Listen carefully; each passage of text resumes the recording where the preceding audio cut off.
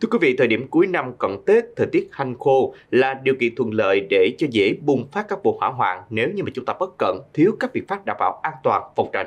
Và mặc dù các thông tin về hỏa hoạn được chúng tôi cập nhật và cảnh báo liên tục, nhưng các tai nạn này vẫn xảy ra thường xuyên tại các địa phương khác nhau. Gần đây nhất là vụ hỏa hoạn vừa xảy ra tại kho hàng điện máy ở tỉnh Bình Dương, thiêu rụi nhiều tài sản.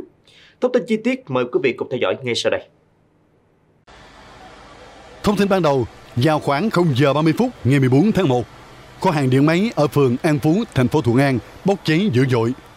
Chỉ trong chốc lát, ngọn lửa nhanh chóng lan sang một hộ kinh doanh kề bên. Nhận tin báo, lực lượng phòng cháy chữa cháy đã điều động 7 xe chữa cháy, một xe chỉ huy và 4 xe bồn tiếp nước cùng 50 cán bộ chiến sĩ đến hiện trường để dập lửa. Sau khoảng 2 giờ nỗ lực, ngọn lửa mới được dập tắt hoàn toàn. Vụ cháy không gây thương vong về người, nhưng khiến nhiều vật dụng thiết bị điện tử của công ty điện máy bị thiêu rụi. Tổng diện tích cháy của kho hàng và cơ sở kinh doanh khoảng 700 mét vuông.